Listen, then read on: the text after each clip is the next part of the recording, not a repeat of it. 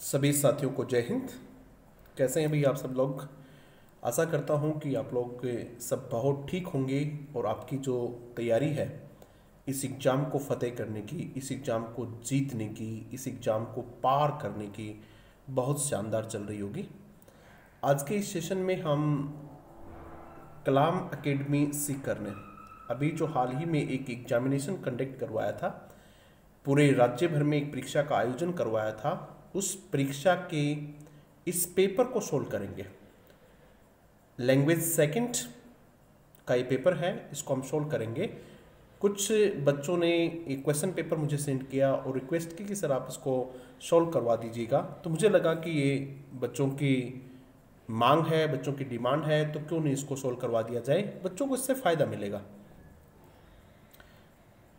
Question number sixty one to sixty five आप ध्यान देंगे कि जब आपको एग्ज़ाम हॉल में क्वेश्चन पेपर मिलेगा, तब उसमें भी क्वेश्चन नंबर 61 से आपको इंग्लिश एज सेकेंड लैंग्वेज का क्वेश्चन पेपर मिलेगा। यानी इंग्लिश के जो क्वेश्चंस होंगे, वो क्वेश्चन नंबर इकसठ से होंगे 61 से होंगे। अब वहाँ से अपना पेपर सोल्व करना शुरू करेंगे इंग्लिश का, ठीक है? Question number 61 to 65 generally unseen passage के ही होंगे, जो कि आपके सिलेबस में यूनिट फ़र्स्ट है। हमने इससे पहले भी यूनिट फ़र्स्ट का एक टेस्ट आपको सोल्व करवा दिया है। तो जो बच्चे नए हैं, आज पहली बार देख रहे हैं तो वो उस टेस्ट को भी देख लें। ये अनसीन पैसेज है। जैसा कि मैंने आप लोगों को पहले भी बताया, बता रहा हूँ कि पूरा अनसीन पैसेज पढ़ने की आवश्यकता नहीं है। आपको एग्ज़ाम में पेपर सोल्व करने का तरीका पता होना चाहिए स्ट्रेटेजी पता होनी चाहिए मेथड आपको सही आना चाहिए। किस तरीके से हम क्वेश्चन पेपर को टैकल करेंगे, किस तरीके से हम क्वेश्चन पेपर को देखेंगे, ये महत्वपूर्ण होता है। आपको अनसिन पैसेज पढ़ने की कोई आवश्यकता नहीं है। जहाँ आवश्यकता होगी वो हम पढ़ लेंगे। इसलिए इसका पूरे का पैराफ्रेजिंग करने की कोई आवश्यकता नहीं है, पूरे का ट्रांसलेशन करने की कोई आवश्यकता नहीं है। सभी मीनिंग्स के आपको अर्थ आना कोई आवश्यक नहीं है, इसलिए डरने की कोई आवश्यकता नहीं है। आपके जो पहली यूनिट है, उसमें टॉपिक जो है, वो है कॉन्कॉट उसके बाद में आपका जो लिंकिंग डिवाइस है, वो टॉपिक है, और उसके बाद जो आपका टॉपिक है, वो है इन्फ्रेंसेस तो आपको तीन टॉपिक यदि ठीक से क्लियर है तो आप इसको बहुत अच्छे से कर लेंगे। देखिएगा, पहला जो इसमें क्वेश्चन है question number sixty one question को ध्यान से देखिएगा। The sentence all is well if end is well has the fallacy of inferences वाला जो टॉपिक है इन्फ्रेंसिस वाले टॉपिक को दो तरीके से एग्ज़ाम में पूछा जा सकता है। एक तो फेलेसी के रूप में पूछा जा सकता है। इन्फ्रेंसिस का मतलब कंक्लूजन होता है। किसी चीज़ का सार निकालना, किसी चीज़ को तर्क के माध्यम से समझना तो या तो आपसे फेलेसिस पूछेंगे तो फेलेसिस का ये तरीका होता है, या फिर आपसे क्या पूछते हैं, आपसे पूछते हैं कि इस पैसेज में क्या कहा हुआ है, इस पैसेज में क्या सारांश है, इसका टाइटल क्या हो सकता है, इस प्रकार का कोई क्वेश्चन भी पूछा जा सकता है तो इसमें पूछा हुआ है फेलेसी का क्वेश्चन फेलेसी बहुत शानदार टॉपिक है, यदि आपने नहीं पढ़ा है तो आप इसको पढ़ के ज़रूर जाइएगा। All is well if end is well आपके पास जो ऑप्शन है, पहला ऑप्शन है fallacy of ambiguity fallacy of ambiguity इसका दूसरा नाम होता है fallacy of equivocation E Q U I V O C A T I O N इसी का दूसरा नाम है fallacy of equivocation fallacy of equivocation में क्या होता है कि डबल मीनिंग वाले वर्ड्स को यूज़ किया जाता है।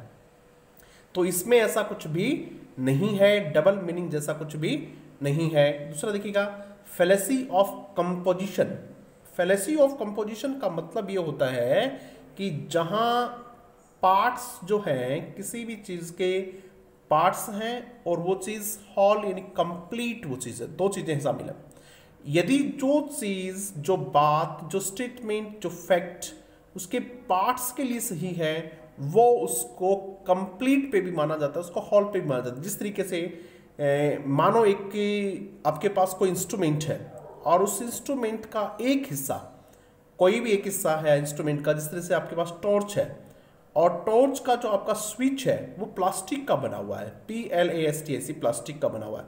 It means part is made of plastic तो आप इससे ये सारांश निकाल लेते हैं। It means the complete the whole torch is made of plastic ये क्या है? फेलेसी है, ये तर्क दोष है। ये क्या है? तर्क दोष है। ठीक है? तो उसको कहते हैं फेलेसी ऑफ़ कंपोजिशन यानी किसी भी चीज़ के एक हिस्से पर जो चीज़ लागू होती है, उसी को आप कंप्लीट मान लेना वो क्या होती है? फेलेसी ऑफ़ कंपोजिशन होती है। आगे देखिएगा। Fallacy of division fallacy of division वो होती है जो फेलेसी ऑफ़ कंपोजिशन की जस्ट रिवर्स होती है। जस्ट उल्टा होता है। इसमें पार्ट को होल मान लिया जाता है और उसमें हॉल को पार्ट मान लिया जाता है। हॉल को पार्ट मान लिया जाता है। जिस तरह से मानो कोई बिल्डिंग है या फिर कोई इंस्टीट्यूशन है, जिस तरीके से मैं अक्सर कहता हूँ कि जे बहुत अच्छी इंस्टीट्यूट है। कंप्लीट ठीक है? ऐसा मान लिया जाता है कि जे है। अब इसका मतलब ये हुआ कि जेएनयू का प्रत्येक हिस्सा, जेएनयू का प्रत्येक स्टूडेंट जेएनयू का प्रत्येक टीचर क्या है? बहुत इंपॉर्टेंट है, बहुत इंटेलिजेंट है, बहुत रेप्यूटेड है। JNU is a reputed institution it means every student of JNU is reputed ऐसा नहीं होता है तो इसको कहते हैं फेलेसी ऑफ़ डिवीज़न आगे चलते हैं fallacy of undistributed middle undistributed middle का मतलब होता है कि दो एक्सट्रीम पॉइंट होते हैं।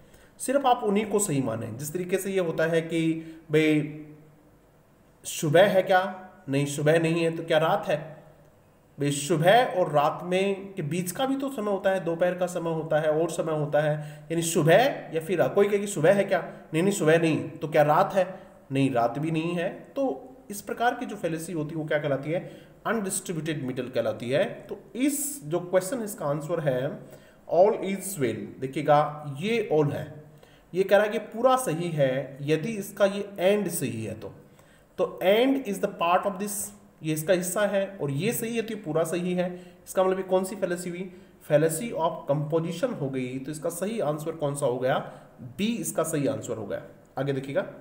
ये जो क्वेश्चन है, ये आपको सब्जेक्ट वर्ब एग्रीमेंट या कॉन्कोड वाले टॉपिक से मिला हुआ दूसरा क्वेश्चन आई इसमें सब्जेक्ट है आई अलोंग विथ जब एक कंपाउंड सब्जेक्ट होता है, क्या होता है बेटा के कंपाउंड सब्जेक्ट वो होता है जिसमें एक से ज़्यादा शब्द मिलके सब्जेक्ट बनाते हैं। तो इसमें सब्जेक्ट कौन है? आई अलोंग विद अदर्स यही तो हुआ पूरा। अदर्स तो इसका जो मेन सब्जेक्ट है, वो कौन हुआ? जब कंपाउंड सब्जेक्ट अलोंग विद से मिलके बना हो, या फिर विद से मिलके बना हो, या फिर बिसाइड से मिलके बना हो, ठीक है? एज वेल एज से मिलके बना हो, अगर इन सबसे, और बहुत सारे अगर इन सबसे मिलके बना हो तो उसमें वब जो होती है, वो इनके पहले वाले के अनुसार, और पहले कौन है? आई के अनुसार होनी चाहिए, और आई है अब यहाँ आई के साथ क्या क्या आना चाहिए, देखिएगा, ठीक है? आई के साथ इज़ नहीं आ सकता, आई के साथ आर नहीं आ सकता, आई के साथ वर नहीं आ सकता तो निश्चित रूप से क्या आएगा इसमें? एम आएगा, आपको मीनिंग समझ में आए तो ठीक है, नहीं आए तो भी ठीक है। आपको क्वेश्चन सोल्व करने से मतलब रखना है, बाकी कोई मतलब नहीं अपने को। अगला है, वो देखो ये भी एज वेल एज अभी बताया मैंने आपको, इसमें भी पहले वाले के अनुसार। तो ये जो कंपाउंड सब्जेक्ट है, ये है the narrator as well as his actions narrator और उसकी एक्शंस दोनों ही चीज़ें। असेंट्रिक छोड़ो क्या मतलब होता है इसका असेंट्रिक हम सन की होती है। आपको कोई मतलब नहीं है। इसमें भी वो आप किसके अनुसार आएगी? नरेटर के अनुसार आएगी, और नरेटर देखते हैं कैसा है? सिंगलर है। कैसा भी नरेटर सिंगुलर तो वब भी कैसी होनी चाहिए? सिंगुलर इसमें इज़ भी सिंगुलर है आर भी आर नहीं है हैज़ भी सिंगुलर है वोज भी सिंगुलर हैज़ तो नहीं आएगा, क्योंकि हैज़ के साथ थर्ड फॉर्म आनी चाहिए। अब है इच और वॉच तो नरेटर और उसकी एक्शंस दोनों ही क्या हैं? असेंट्रिक सन के हैं। तो इसमें इज़ का प्रयोग भी सही हो सकता है और वॉच का भी सही हो सकता है। पैसेज में देखेंगे कि ये प्रेजेंट है या पास्ट है। हालाँकि इसको तो मानना ही पड़ेगा कि दोनों ही आंसर इसके क्या है? सही आंसर हैं। आगे देखिएगा। द लिंकिंग डिवाइस अब जो क्वेश्चन है वो लिंकिंग डिवाइस है। The linking device of which the linking device in which of the sentence express a sequence इनमें से कौन से सेंटेंस में एक लिंकिंग डिवाइस यूज़ हुई है जो लिंकिंग डिवाइस सीक्वेंस बता रही है आपको? सीक्वेंस यानी क्रम बता रही है। इसके बाद ये, इसके बाद ये, इसके बाद ये, इसके बाद ये। पहला देखिएगा। बहुत शानदार टॉपिक है लिंकिंग डिवाइसेस का। अच्छे से पढ़ जाना। I was ask to take a bath मुझे नहाने के लिए कहा गया बट आई डिड नॉट लेकिन मैंने नहीं किया। तो यहाँ बट जो है, ये लिंकिंग डिवाइस है और ये सीक्वेंस नहीं बता रही है, ये कॉन्ट्रास्ट बता रही है। क्या बता रही है ये? कॉन्ट्रास्ट बता रही है। तो जब कॉन्ट्रास्ट पूछते तो ये सही होता, ये नहीं है। आगे देखिएगा। आई फ़र्स्ट लाफ लाउडली पहले मैं खूब हंसा एंड देन वेप्ट बीटरली और फिर बुरी तरह से रोया। पहले ये किया, फिर बाद में ये किया। ठीक है? तो ये कर्म बता रहा है कि नहीं बता रहा है? मैंने पहले ये किया फ़र्स्ट और उसके बाद ये किया तो ये आपका सीक्वेंस बता रहा है। क्या बता रहा है? सीक्वेंस बता रहा है, ठीक है? आई फ़र्स्ट तो ये सीक्वेंस बता रहा है फ़र्स्ट के बाद देन तो पूछ रहा है इनमें कौन से लिंकिंग डिवाइसेस हैं जो कर्म बता रहे हैं? तो इस सेंटेंस में क्या बता रहे हैं? कर्म बता रहे हैं। फ़र्स्ट है सेकंड है, ये सब के सब सीक्वेंस या कर्म बताते हैं। Father asked me why I did not ये कारण बता रहा है रीजन इसमें जो वाई यूज़ हुआ, ये क्या बता रहा है? रीजन बता रहा है, कारण। तो ये भी हमें नहीं है। और आई अलोंग विथ इसमें तो बाकी कुछ है नहीं। तो इसका सही आंसर कौन सा हो गया अभी? बताइएगा इसका सही आंसर कौन सा है? इसका सही आंसर बी हो गया है। आगे देखिएगा। Total conjunctions in the sentence एक सेंटेंस है ये। इसमें आपसे पूछे कितने कंजंक्शंस है। आप सेंटेंस को पढ़ते जाइएगा कंजंक्शंस को अंडरलाइन करते जाइएगा और आंसर दे दीजिएगा। ड्यूरिंग कंजंक्शन नहीं है ड्यूरिंग प्रेपोजिशन होता है, उसके बाद में देखिएगा आई नहीं है टू कंजंक्शन नहीं है प्रेपोजिशन है विदाउट कंजंक्शन नहीं है प्रेपोजिशन है डैम एंड कंजंक्शन है। तो एक लिख लिया हमने। At the end of along with भी प्रपोजिशन है, आगे देखिएगा एंड ये दूसरा हो गया। दो, उसके बाद देखिएगा वेन वेन कंजंक्शन होता है। ये कितने हो गए? तीन, उसके बाद देखिएगा इसमें कहाँ है? विद नहीं है, ऑन नहीं है, एंड। ये कितने हो गए? चार, उसके बाद में देखिएगा बट। ये कितने हो गए?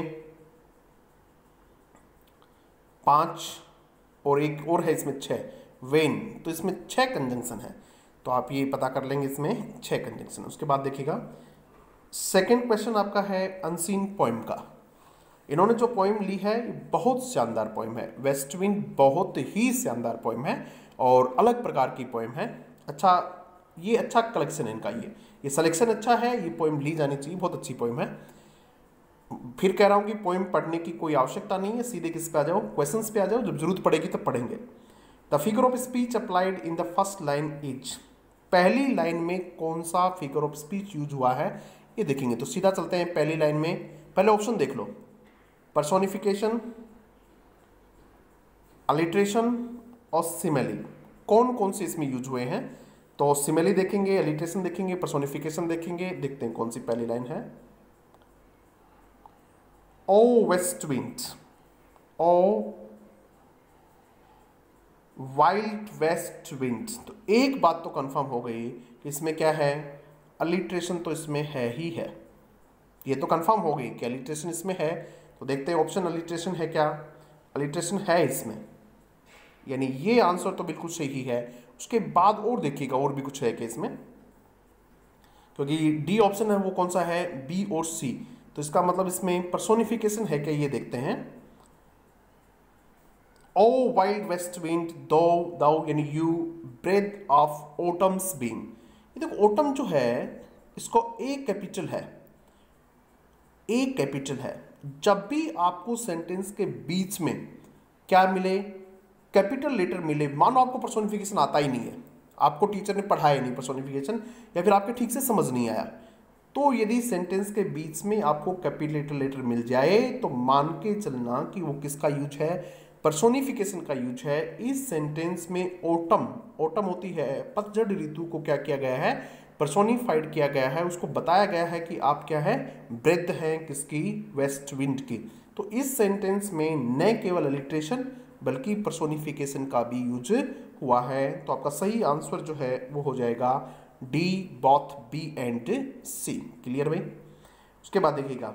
Which stanza does not have simile in this point इनमें से कौन सा स्टेंजा में सिमिली नहीं है?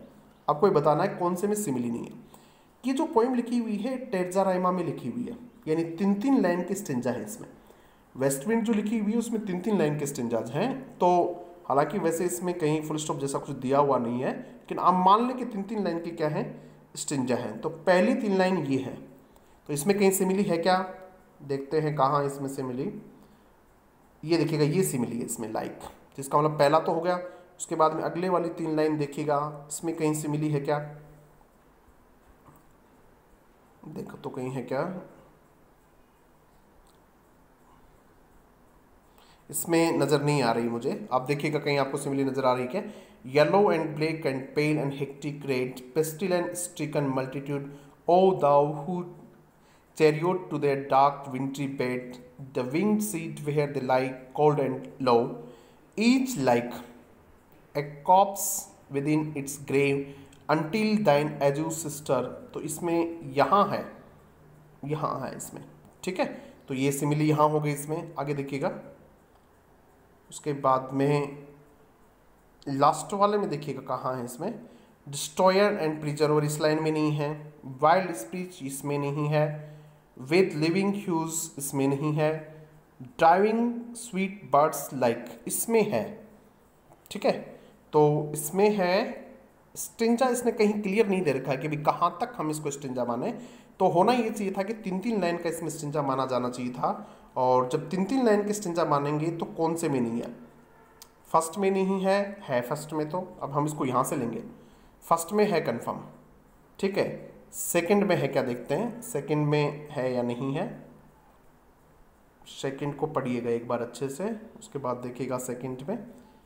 ये एक लाइन, दो लाइन, तीन लाइन, चार लाइन, ये पांचवी लाइन में आके यहाँ है तो इसमें तो है नहीं, ठीक है? सेकंड स्टेंजा में तो कहीं सिमिली का यूज़ हो नहीं रखा है, ठीक है? तो आगे सब है तो इसमें ये आ जाएगा सेकंड स्टिंजा हालाँकि जब ये बात बताई जाए कि अगर स्टिंजा है तो कहीं ना कहीं स्टिंजा का डिमार्केशन भी किया जाना चाहिए कि कहाँ तक इसमें स्टिंजा है। वैसे कहीं भी इसमें ऐसा फुल स्टॉप जैसा नहीं दे रखा है कि जहाँ आपको पता चले कि स्टिंजा है देखो यहाँ भी नहीं है, यहाँ भी नहीं है, यहाँ भी नहीं है, यहाँ भी नहीं है। ठीक है, यहाँ है, ये देखिएगा। यहाँ हो सकता है कि ये देखो, यहाँ इन्होंने कोमा नहीं लगाया है। कोमा तो यहाँ भी नहीं लगाया है। वैसे ही मुझे जानकारी है कि इसमें जो पोइम होती है तीन तीन लाइन के स्टेंजाज हैं इसमें तो आप इसको सेकंड मान के चलिएगा, ठीक है? उसके बाद में देखिएगा the rhyme of this poem is इस पोइम की कौन सी राइम है इसमें? ठीक है? अब राइम में भी अच्छा क्वेश्चन है इसमें। इसके आंसर तो टेरजा राइम होता है, ठीक है? इसमें जो राइम है वो कौन सी है? टेरजा राइम होती है। टेरजा राइम जो होती है, वो होती है A B A B C B ठीक है? सी डी सी ये राइम होती है इसमें। और ये इस पोइम की है ही राइम इसकी टेजा राइम बाकी फेमेनाइन नहीं है इम्परफेक्ट नहीं है आई राइम नहीं है, ये क्या होती हैं? मैं थोड़ा थोड़ा इनके बारे में आपको बता देता हूँ कि कौन कौन सी राइम होती हैं। कि फेमेन राइम राइम जिसमें होती है, जिसमें टू अनस्ट्रेस सिलेबस होते हैं। सिमिलियर टू होते हैं अनस्ट्रेस होते हैं, उसको आई राइम का मतलब ये होता है कि जब स्पेलिंग एक जैसी होती है, लेकिन राइम नहीं होती जिससे से एल ओ वी लव होता है, एम ओ वी मूव होता है, ठीक है? तो ये होती है इसमें। इनपरफेक्ट होती है जिसमें एग्जैक्ट सिलेबल को नहीं किया जाता है। ठीक है? साउंड एक जैसी आएगी, लेकिन सिलेबल एक जैसे नहीं होंगे, वो इनपरफेक्ट होती है। क्लासरूम में हम नहीं करवाए। इसका जो आंसर है वो क्या है? टेजा राइम है। आप इसको देख लेंगे। ठीक है? एक बार आप चाहें तो इसको देख भी लें ऊपर कि ये देखो, क्या मिलेगी आपको? ए बी ए मिलेगी राइमिंग स्कीम ये being dead filling fling being ये ए बी ए ठीक है? फिर देखिएगा यहाँ से शुरू दोबारा। ए बी ए रेड दाव बेट तो ए बी ए ए बी इस तरीके से इसकी टेंसर राइम होती है। वो होती है ए बी ए की बजाय आप इसको क्या कह सकते हैं? बी सी बी भी कह सकते हैं। इसको आप बी नाम दे दो तो बी सी बी हो जाएगा। तो इस प्रकार की जो राइमिंग स्कीम होती है, उसको क्या कहते हैं? टेरजा राइम कहते हैं। तो इसका सही आंसर क्या हो गया? टेरजा राइम हो गया। उसके बाद देखिएगा। Wild spirit which are moving everywhere the line has इस लाइन में कौन सा फिगर ऑफ़ स्पीच है? देखिएगा, ये तो दोनों कुछ है ही नहीं। तो एसोनेंस और कॉन्सोनेंस में आपको पता करना है। कॉन्सोनेंस का मतलब होता है कॉन्सोनेंट से रिलेटेड ठीक है? और एसोनेंस का मतलब आप सब जानते ही हैं कि जहाँ वोल साउंड रिपीट होती है तो इसमें देखो wild W I L T ये, spirit S P I R I T ये आई ठीक है? विच, ये फिर आई ये देखो, ये रिपीट हो रही है इसमें, ठीक है? तो इसका सही आंसर क्या हो जाएगा? एसोनेंस हो जाएगा, कॉन्सोनेंस जैसा इसमें कुछ भी है नहीं। The एनाजू sister of the spring देखो स्पेरिंग में एस कैपिटल है इसमें। मैंने कहा था, जहाँ कहीं भी आपको एस कैपिटल या कोई भी वर्ड या लेटर कैपिटल मिल जाए तो आप मान लेना क्योंकि वो किसका एग्ज़ाम्पल है? पर्सोनिफिकेशन का एग्ज़ाम्पल है तो ये भी किसका है? पर्सोनिफिकेशन का एग्ज़ाम्पल है। ये हो गया हमारा। उसके बाद देखिएगा सेवेंटी वन ये मॉडल का है मॉडल ऑक्चुलरी ये तो बिल्कुल आसान सा ही है। You mind returning the debt D E B T D E B T इसको डेप्ट मत बोलना डेट बोलना।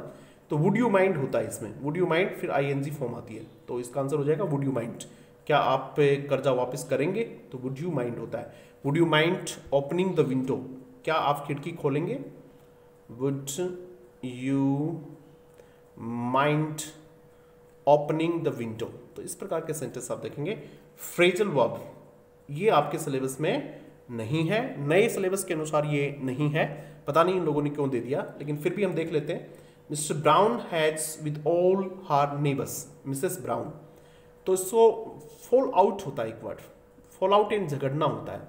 तो अपने सभी पड़ोसियों से उसने झगड़ा कर लिया तो इसका फॉल आउट हो जाएगा। वैसे फॉल इन का मतलब कोलाप्स गिर जाना होता है फॉल इन टू ज़बरदस्ती हो जाना होता है फॉलोअप का मतलब भी गिरना होता है। आगे देखिएगा, ये ईडियम है। आई डोंट प्रीफर सुमन मुझे सुमन ठीक नहीं लगती है। S C is a black sheep कि वो क्या है? ब्लैक सिप है। ब्लैक सिप का मतलब क्या होता है? जो आपको डिस्करेज करता हो, जो आपको मोटिवेट नहीं करता हो, जो आपके इंजॉयमेंट को खराब करता हो, जो मज़ों को ख़त्म कर देता हो, यानी मामले को बिगाड़ देता हो। आप बहुत अच्छे इंजॉय कर रहे थे और आपको रंग में भंग डाल देना। एक वर्ड होता है, ऐसे आदमी जो रंग में भंग डाल देते हैं, उसको कहते हैं ब्लैक सिप तो इसका सही आंसर हो जाएगा ये। उसके बाद देखिएगा an elegy can be considered as elegy को क्या माना जाता है? तो एलर्जी मेलेंक्लिक पोइम होती है। ध्यान दीजिएगा, एलर्जी जो होती है वो मेलेंक्लिक पोइम होती है। लेमेंट वर्ड आ जाए, इसके साथ कहीं भी आपको लेमेंट आ जाए, मेलेंक्लिक आ जाए M O U R N मोन आ जाए, ये सारे वर्ड एलर्जी से संबंधित हैं। Reflective R E F L E C T I V reflective poem आ जाए, pensive P E N S I V pensive poem आ जाए तो ये सारी के सारे क्या है? एलर्जी के लिए आते हैं। Italian sonnet is divided into octave and sestet तो ये हो गया इसका ऑक्टेव और सिस्टेट में आ जाएगा। इटालियन सोनेट के दूसरे नाम क्या क्या हैं? इटालियन सोनेट के दूसरे नाम क्या है? मिल्टोनिक सोनेट है क्लासिकल सोनेट है पेट्राकन सोनेट है रेगुलर सोनेट है, ये सब के सब किसके नाम है? इटालियन सोनेट के नाम है। तो ऑक्टेव पहली आठ लाइन को क्या कहते हैं? ऑक्टेव और अंतिम छह लाइन को क्या कहते हैं? सिस्टेट कहते हैं। तो ये भी समझ में आ गए speech sound can be classified into. Speech sound का मतलब वही है जो साउंड। तो साउंड तो वाउल्स एंड कॉन्सोनेंट में ही डिवाइड होती हैं। ये जो फ्रिकेटिव एफ्रिकेटिव प्लॉसिव, ये सारे के सारे क्या हैं? ये अलग प्रकार है। ये किसके हैं? ये कॉन्सोनेंट के हैं डिफ्थोंग्स मोनोथोंग्स ये किसके हैं? आप सब जानते हैं, ये वाउल्स के हैं। तो आपसे पूछा स्पीच साउंड तो वाउल और कॉन्सोनेंट्स के सही समझेंगे उसके बाद देखिएगा which of the following underline sound is different इनमें से कौन सी साउंड डिफरेंट है? तो आपको बताना है, पहला वर्ड है नियर तो आपको इसका ट्रांसक्रिप्शन देख लेना है नियर ये इसका ट्रांसक्रिप्शन होता है, दूसरा है पीपल तो पीपल का ये ट्रांसक्रिप्शन होता है पी पे एल है। ठीक है? पीपल ये इसका है, आप खुद बता देंगे कौन सी अलग है। तीसरा ईट ईट ये इसका ट्रांसक्रिप्शन है, और सी ये इसका ट्रांसक्रिप्शन तो बताओ भाई कौन सा डिफरेंट है? निश्चित रूप से क्या है? नियर डिफरेंट है तो ये इसका सही आंसर हो जाएगा। उसके बाद देखिएगा choose the correct alternative which represent the sound given ये कौन से में है? ठीक है? तो वही काम करेंगे हम तो। ट्रांसक्रिप्शन करेंगे नाउ का, ये ट्रांसक्रिप्शन होता है नाउ का। म्यूल म्यूल का ट्रांसक्रिप्शन होता है मैं यू ये यू ले म्यूल तो ये भी नहीं है। उसके बाद में जियरो जे ई ए, ये बहुत बार पूछा हुआ है और इसका सही आंसर भी यही है जियरो देखो, ये जियरो तो ये इसका सही आंसर है, ठीक है? केयर केयर का ये होता है केयर। तो ये किसमें आई है? ज़ीरो में आई है। तो इसका सही आंसर ये है। बहुत बार पूछा हुआ अभी। The phonetic symbol of the letters underlined in the word scratch तो ये च है ही, आप जानते हैं, इसमें तो कोई दिक्कत नहीं है। ये इसका ट्रांसक्रिप्शन है स्क्रेच स्क्रेच ये होता है इसका ट्रांसक्रिप्शन स्क्रेच तो ये च है। तो ये च हो जाएगा। उसके बाद देखिएगा which of the following begins with different sound इनमें से कौन सा अलग साउंड से शुरू होता है? देखो तो ये तो हो ही नहीं सकते। इसमें तो एक ही साउंड है सन और सन की तो इसको छोड़ेंगे। ये ये साउंड है, इसमें तो सन बचे दो, हमारे पास एक समर है और एक सुपीरियर है। तो समर का ट्रांसक्रिप्शन क्या होता है, आप सब जानते हैं। ऐसे लिखा जाता है, से, ए, मैं, ए, रे। समर ऐसे लिखा जाता है। ठीक है तो इसमें ये साउंड आती है, जबकि सुपीरियर में क्या आता है? सुपीरियर में ये आता है ट्रांसक्रिप्शन लिखते हैं हम इसका। शू, ठीक है? पी, ए सुपीरियर री एर ये होता है सुपीरियर ठीक है? तो कौन सा हो गया इसमें? ये डिफरेंट साउंड हो गई। अब कुछ आते हैं इसमें टीचिंग पेडागोजी के questions on the behalf of historical background communicative language teaching can be interpreted as इसको कैसे समझा जा सकता है? ऐतिहासिक पृष्ठभूमि में। तो हुआ क्या था इसमें? देखिएगा मैं आप लोगों को बताता हूँ थोड़ा सा कि ट्रीम डेविड और हेनरी नाम के तीन आदमी थे। एक Trim David D A V I D Trim David. मैंने अपने क्लासरूम टीचिंग में बताया है बच्चों को कि इन लोगों ने एक प्रोग्राम शुरू किया था, उसका नाम था national functionalism and communicative approach. तो उसी का ही डेवलप्ड फॉर्म है तो नेशनल फंक्शनल और कम्युनिकेटिव। तो ये है इसका सही आंसर, नेशनल फंक्शनल सिलेबस। उसके बाद देखिए which of this is challenge of teaching English इनमें से इंग्लिश टीचिंग का चैलेंज कौन सा है? Over emphasis on traditional grammar ये तो है ही। ट्रेडिशनल ग्रामर पे ज़्यादा ज़ोर डालना चैलेंज है। Fully based upon conventional teaching पूरी तरह से पारंपरिक टीचिंग पे बेस्ड करना ये भी चैलेंज है। स्केयरसिटी कमी होती है स्किलफुल टीचर्स स्किलफुल टीचर्स की कमी होना ये भी एक चैलेंज है। तो इसका सही आंसर हो जाएगा all of these a multilingual speaker has acquired and maintained at least one language during childhood, that is जो स्पीकर है, उसने कम से कम एक भाषा अपने बचपन के दौरान कौन सी सीखी है? प्राइमरी तो सब सीखते हैं, उसके लिए मल्टीलिंगुअल होने की ज़रूरत नहीं है। फ़र्स्ट लैंग्वेज आप सब जानते हैं, उसके लिए भी नहीं है। तो एक सेकेंड लैंग्वेज उसने ज़रूर सीखी है तो इसका ये, तभी वो मल्टी स्पीकर होगा। वैसे मल्टीलिंगुअल स्पीकर को दो से ज़्यादा भाषाओं का नॉलेज होना चाहिए। Deficiency in ability to write associated with impaired handwriting ये भी सिलेबस से हटा दिया गया है। ये एरर्स एंड डिसऑर्डर वाले टॉपिक से था, जो नए सिलेबस में नहीं है, इसलिए इसको हटा दिया गया था। वैसे इसका डिस्ग्रेफिया हो जाएगा, आप साइकोलॉजी में ही पढ़ते हैं। Communicative to students in the second language बच्चों से सेकेंड लैंग्वेज में कम्युनिकेट करना and arranging the session of group discussion और ग्रुप डिस्कशन का क्या करना? सेशन को अरेंज करना. आर इम्प्लीमेंटेड इन वो किसमें इम्प्लीमेंट किए जाते हैं?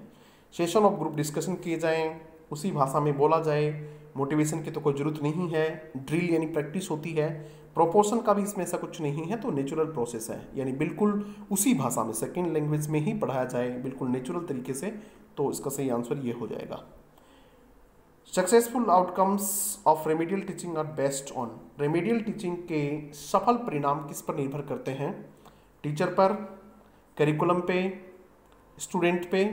The successful outcomes of remedial teacher are based on तो हैं तो सारी चीज़ें, लेकिन इसमें आइडेंटिफिकेशन और the causes of the problem सबसे पहले तो इसी पे डिपेंड करेंगे ना कि आप पहचाने कोजेज यानी कारण ऑफ़ द प्रॉब्लम उसमें प्रॉब्लम किस वजह से आई है, उसके कारण को पहचाने तो ये इसका सही आंसर हो जाएगा। Remedial teaching does not include remedial teaching में क्या शामिल नहीं होता है? मोटिवेशनल एफर्ट्स होते हैं इम्प्रूवमेंट शामिल होता है लर्निंग शामिल होती हैं extra class is not a part of remedial teaching assessment and evaluation are made for process and product दोनों के लिए।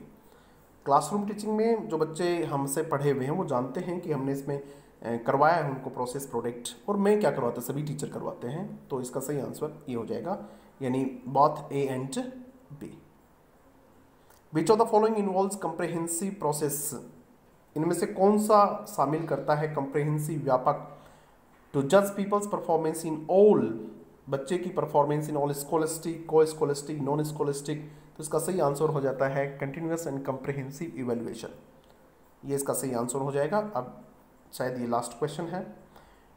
Which evaluation can be set to be the sort of instructional process इनमें से instructional process कौन सी होती है? तो formative जो होती है इंस्ट्रक्शनल प्रोसेस होती है। ये डेवलपमेंटल प्रोसेस होती है इंस्ट्रक्शनल प्रोसेस होती है, जबकि ये टर्मिनल नेचर का होता है समिटिंग तो इस तरीके से हमने इस क्वेश्चन को सोल्व कर लिया है इस पेपर को, और आप बताइएगा ज़रूर कि आपके कितने कितने आंसर सही हुए हैं। ठीक है थैंक यू